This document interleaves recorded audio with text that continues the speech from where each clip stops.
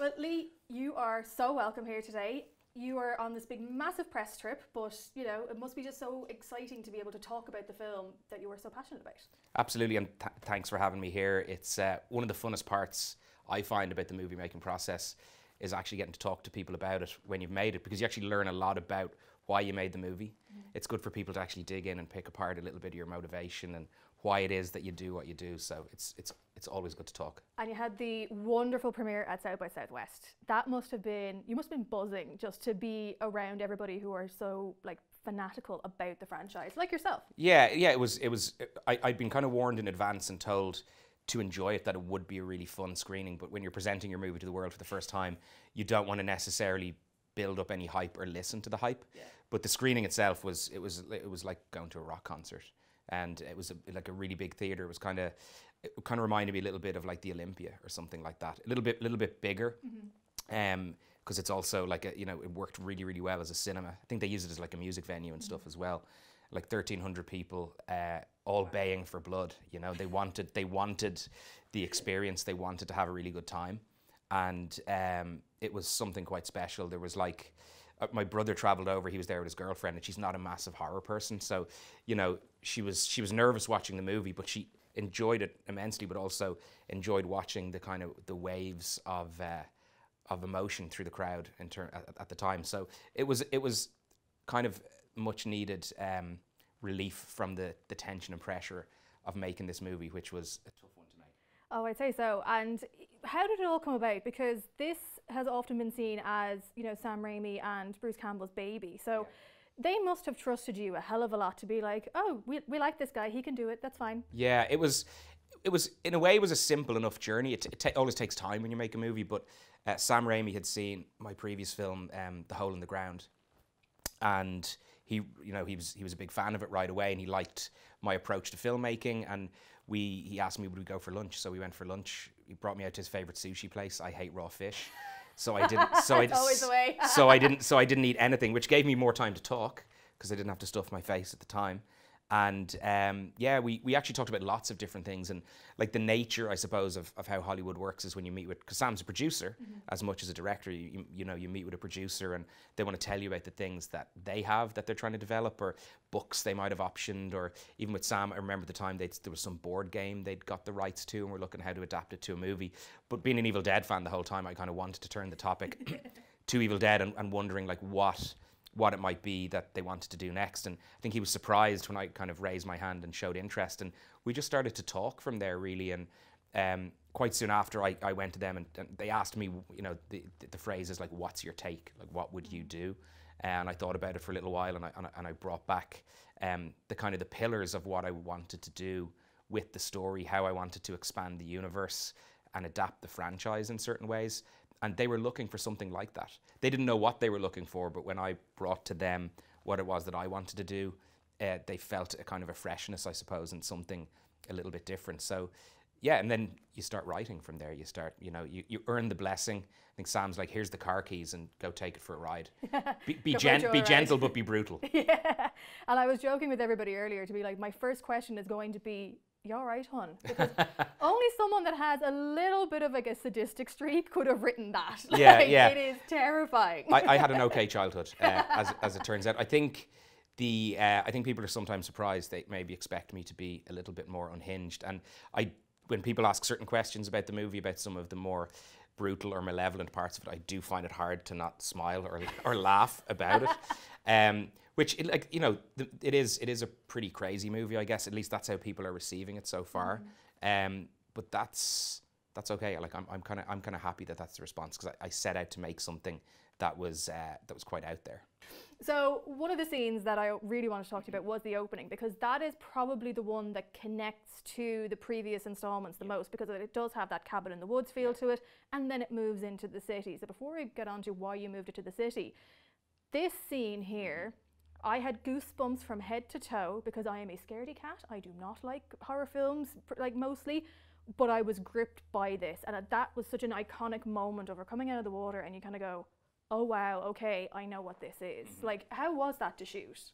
it was challenging to shoot. I think first of all, the fact that you said you, you knew what it is is great for me to hear because the goal of in a movie like this, I wanted to have this you know cold open, this prologue, and give the audience a taste, mm-hmm. a little taste of what they're kind of in for. But to shoot it, like it was, it was actually really great. We spent three days like we said out at the lake or on the water to shoot that sequence not including there's like an interior part with a cabin yeah. but the exterior part was three days and it was great for the crew because we'd spent so much time in the studio locked indoors like you know i, I left i always think back i left ireland in after going through a full winter went into winter in new zealand went into a studio into dark rooms where I had rain machines outside the windows the entire time, left New Zealand and came back into the start of the next Irish winter. So these three days were about the only sunshine I got in about 18 months of note. Um, it was great. It's always challenging when you're shooting near water, and but for a movie like this, there's so many practical effects, and uh, like there's nothing digital about this. This really happens. This you know, yeah. this person comes out of the water. She's very talented. Um, but we prepped, you know, just a lot of prep and planning for how that works, and um, yeah, I'll say it was it was a fun three days at the lake, even though what happens at the lake is pretty brutal on screen. yeah. Now you touched on a little bit there, just with the fact that it's not as many special effects; it's all very practical. Mm. And with the sort of physical demands on your actors to portray the roles, it's a lot of like contorting, yeah. and it is a lot more physical than maybe people would have realized when reading the script. So, were you conscious of casting someone who'd be able to embody that themselves, or were you also sort of thinking, yeah, we can probably get a stunt double in for that? Yeah, I, I think making a movie like this, it is very physical. So when I was looking at the cast past, it actually it was important to understand what they could do, and part of that process was to look at them both as normal people in their characters, but for those that got possessed, to get a little sense of what their behaviour would be like. And especially with, with Alyssa Sutherland, who plays Ellie in the film, she actually gave quite a lot of physical performance in her audition tapes, which was great, and I had a lot of confidence in her. But yeah, of course, you also everybody has a stunt double or 2 mm-hmm. In fact, like on a movie like this, because there's a lot of crazy requirements. But for the most part, the cast were heavily involved in their own stunts and, and big parts of it. One, one of the interesting things was um, uh, um, young Gabby Echols, who was like her first movie role, really, uh, who plays Bridget in the film. And I didn't realize till we were rehearsing for we are doing like technical rehearsals for some of her big scenes that she'd almost gone pro as a ballerina when she was younger. Oh so she did everything. She had such great internal kind of timing and a clock and an understanding and then her ability. So there's scenes where she's climbing down off like kitchen cabinets. That's just all real. That's just her doing those things. So I didn't actually get to learn that about her until we were in the middle of doing it. I'd like to claim that I cast her for that reason. But yeah, that was so. But for for all the actors, there was a lot of physicality, and we did a lot of boot camp. We did a lot of training. Like even like little Nell Fisher, who plays Cassie, like you know she was put through the ringer, the in, ringer in, yeah. in, terms of because you know she needed to get. It's not even sometimes just about the physicality of movement. It's also the emotional state that that cast had to stay in because the movie crosses a line and nobody's heart rate drops below 180 for the rest of the movie because their lives are in danger the entire time. So we did a lot of planning for that as well, working on like breathing, mm-hmm. movement, and the confidence you can give actors as well when you kind of fill up their toolbox with all these ideas and ways of getting to the places that you need them to be. Yeah, and actually, I have to talk about Nell Fisher because for someone so young, she is just captivating on screen. Like Alyssa was fantastic as well, and I loved how as she was getting more and more possessed, the more intricate all of her movements became.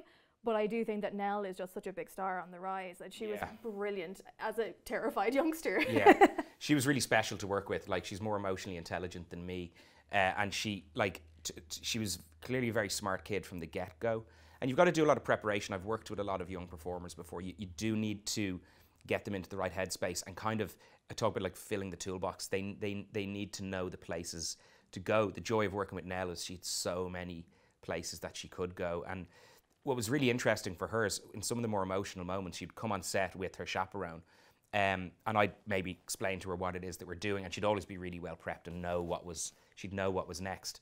But she was confident enough to say to me, "Okay, please leave me alone for ten minutes." She's nine years old because she wanted to go, and she would go away and get herself in to the necessary emotional state for the scene, and then we'd roll camera. She'd be there. She didn't take a lot of pushing or probing to, to go there, and it was kind of weird to see this nine year old go into a corner and start to get herself ready to cry and then come on camera and turn it on. It was quite amazing to experience, actually, That's to observe. Incredible.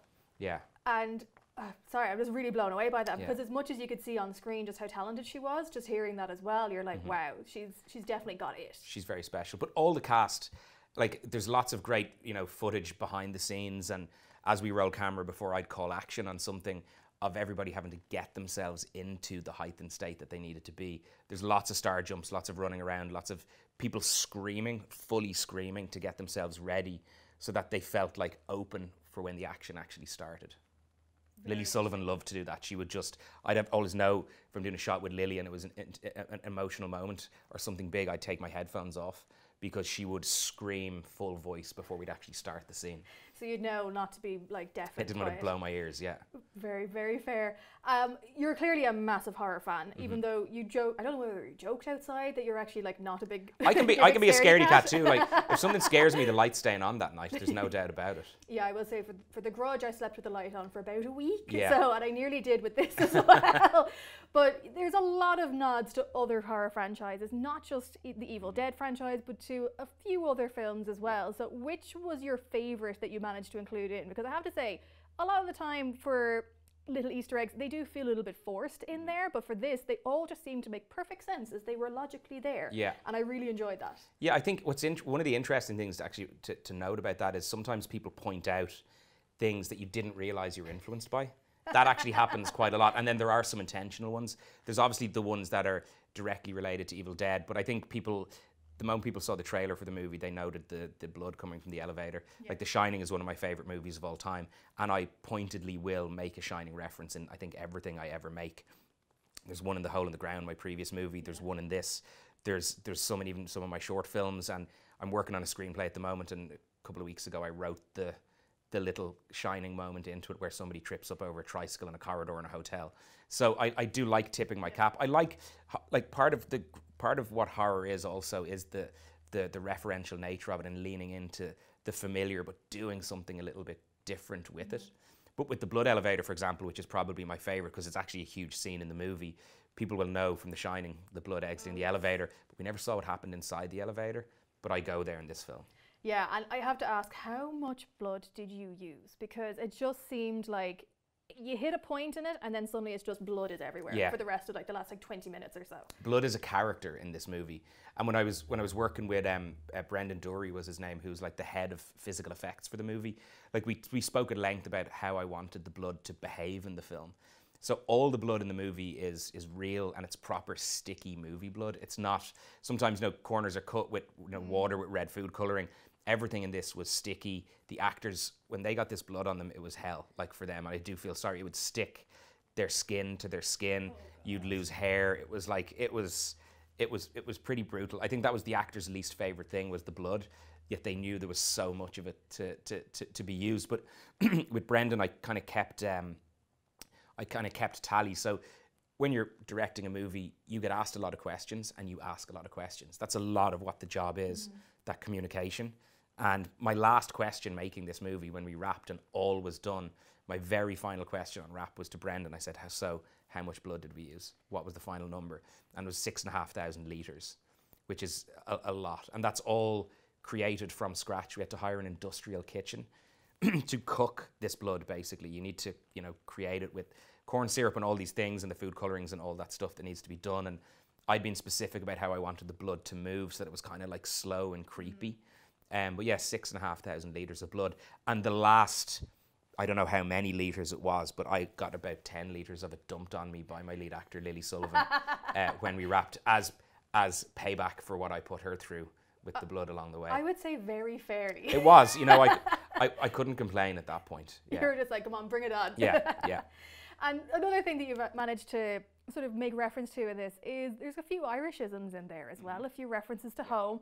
And considering Ireland does have such a like strong connection to horror, you know, mm-hmm. like Bram Stoker and all that, how nice was it to be able to honor that side as well, even though you're making this absolutely massive Hollywood blockbuster movie? Like, Yeah, it was, it was, again, it was something that would be kind of important to me from the start because I'm proud of where I'm from. I'm proud of Irish culture and my own heritage. So it's actually quite fun. Like the book has a few Celtic influences in it. Like the opening page on the book has a symbol that was based on, on like, you know, ancient writing. Um, and also, it never quite made the cut, but there's a set of car keys that feature as a character throughout the movie. and the key keyring on it was a leprechaun, but we never quite shot it right that you could tell, which kind of bugged me a little bit. And there's Celtic influences in the music as well at times. Um, and on top of all that, one of the things that I'm really proud of and excited by was the fact that I was able to work with my producers from Ireland on the movie and then to bring the movie back here to do post production and work with loads of amazing Irish talent. My composer, Stephen McKeon, who worked on my previous movie, so many brilliant visual effects artists here in Ireland and sound design team. That that's really important. So there's like you go to the cinema and watch this movie and you sit through the credits, which I hope you will, because you're going to need a minute to calm down after what you've just experienced. But yeah, you'll see so much Irish talent involved with the movie, which is something that's important to me. It's part of what I want to also do with my career is make these big movies, but be able to also bring them back, shoot them in Ireland, work with Irish people. Um, it's yeah, it's it's it's part of who I am, and I'd like to make it part of my work too. And is it true that when, because Bruce Campbell was over in Ireland while you were doing post production, is it true that he dropped in to be just like, so how's it going? Yeah, well, I think Bruce liked the uh, excuse to come to Ireland for a while, but Bruce also loves the post sound process. So he came to Ireland for about a month and got to experience seeing Dublin and, and hanging out and doing all these kind of things. And he's a very social, nice guy to to uh, engage with. And then every two or three days, I'd say, "Hey, Bruce, come into the sound studio, check out what we're doing." He's a real sound geek; like he loves that aspect of things, and he provided us with a hard drive of um, all the original sound sound effects that were recorded like analog for the first movie back in.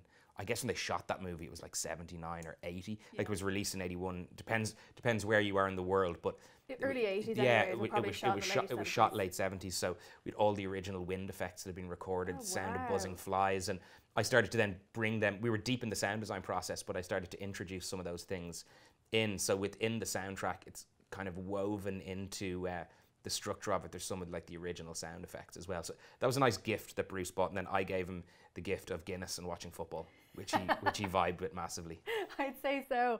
And as we were saying earlier, that this opening sequence is set traditionally in like the cabin in the woods, but then you moved it to the city. Why?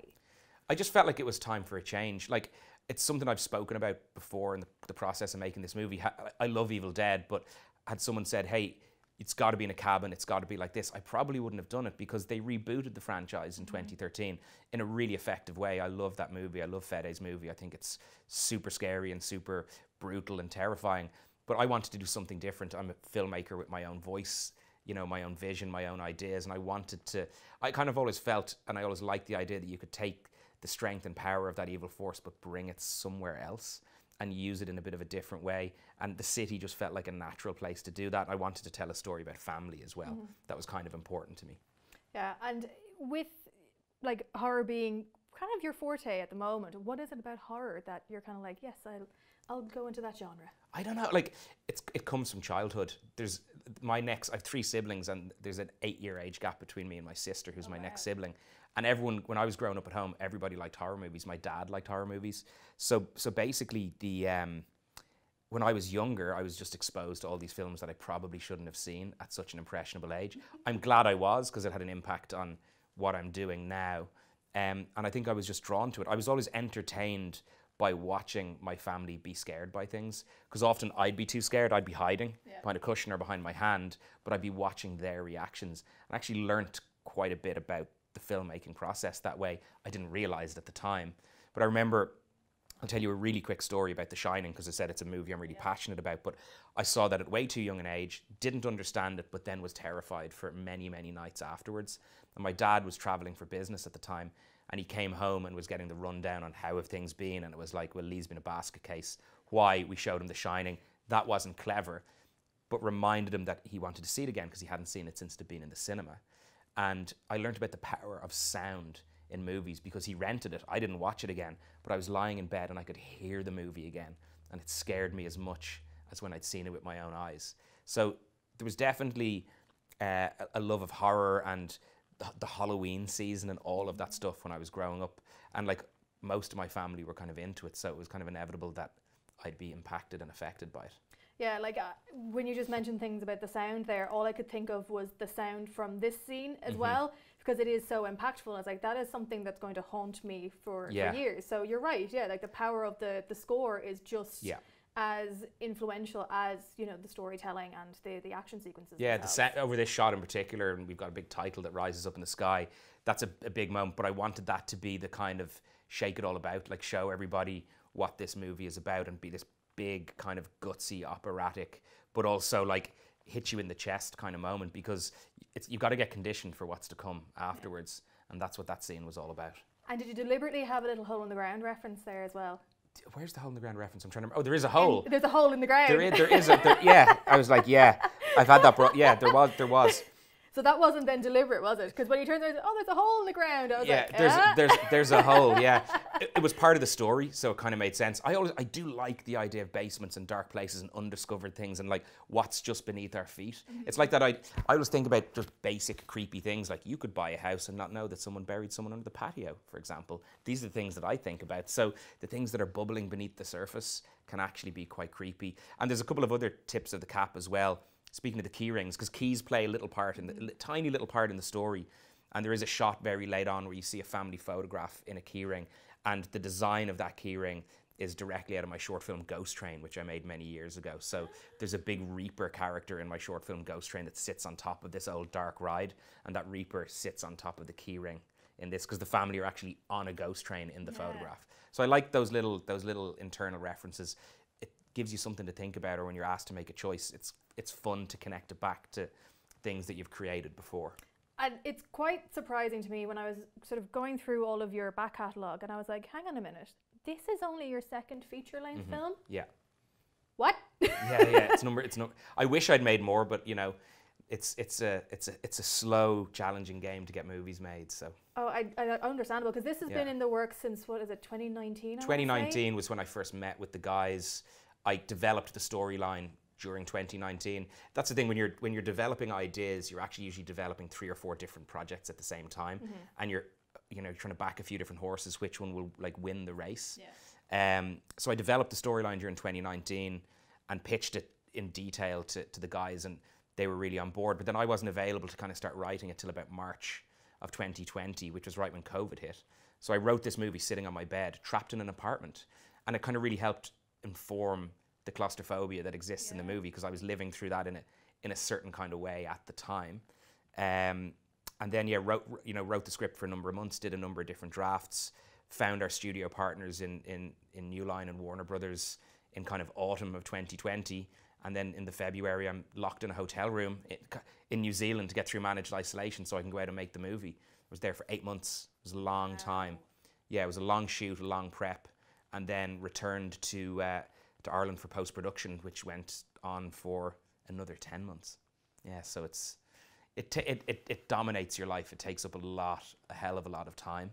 Um, so you gotta love it, and you gotta find an idea that you're willing to live with. It's like it's like going on a date, you know, and you're like, could I, could I live with this person for 3 years? You've got to really, and then I ended up living with this this kind of madness. You know, you've, you've got you've got to you got to. My producer John Keville often says it to me when I'm hunting down different ideas. Make sure you're comfortable with the fact that you're going to have to have this hanging over you for such a long time, and then if you make it, you've got to live with it forever. Yeah, and like even like in, in my job, they always say it's like you have to live and breathe what it like what you do, and Yeah. that's exactly I think you're you'd be similar with filmmaking. Is that you have to be as passionate about it as you possibly can be, or else people are going to be able to tell that you're not actually as into it. Yeah, it's, it's kind of vocational in a way, right? You know, Yeah. you've, got, you, you, you definitely got to live and breathe it. I feel that.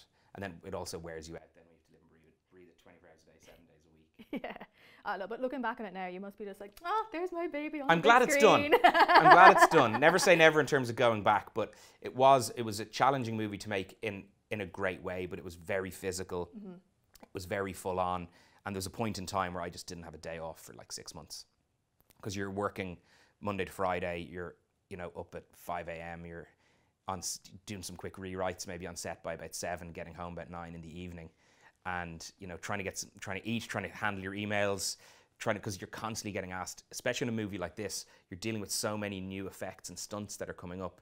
You're constantly having to approve things all the time. Um, so there'd be hours of approvals at night for something that's coming up in three days or five days, or we need an answer now so that we can prep for that big stunt that we're going to do. And then the weekend rolls around and go unconscious for a few hours and then start rewriting for the next week because I constantly, I constantly meddle with my own words. I can't stop. you got to keep it going. Yeah. and I have to say, like with A Hole in the Ground, that was, I think, a real moment in Irish cinema, especially within the horror genre, because it kind of started that train of a series of quite good Irish horror films, and I but it was the first one. where Everyone just went, "That's how you do it." Yeah. And it was must have been a really nice thing for yourself to be like, "Oh, oh, thanks, guys." Yeah, it was, look, it was nice. I think there's a lot of great genre filmmakers in Ireland, and they've been, you know, knocking on the doors in different ways over the years. And there's been there's been some successful things and some less successful things, but that's also movies, full stop, right? Mm-hmm. Some things work better than others, and I think I, I have a good team of people I work with, and we knew in approaching the hole in the ground that we couldn't emulate Hollywood. We needed to give something that had a really Irish identity, but I had confidence in my own ability that I could put it in a kind of commercial and international wrapper that people around the world could watch it. And and luckily that happened. And it's it's a weird journey like little things like someone was only reminding me the other day that um, the hole in the ground was like the number one movie at the Mexican box office on its opening weekend.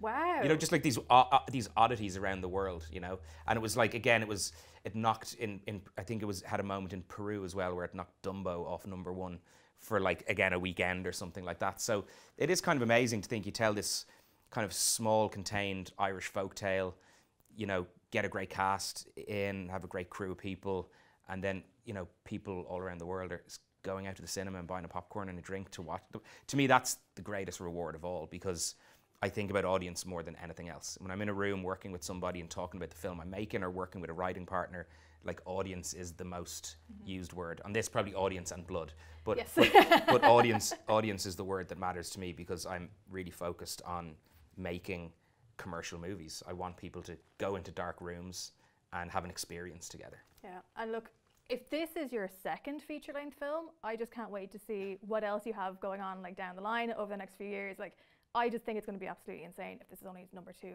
that's it. Just blows my mind. But before I let you go, I would like you, if you looked into this camera right here, This one here? just- just give us one big pitch and get people into the cinema to go see it. Wow. Okay, give me a second to think about that one. um, I think that sometimes Irish people get a little bit put off by horror movies, but this movie is super scary, but it's also super entertaining.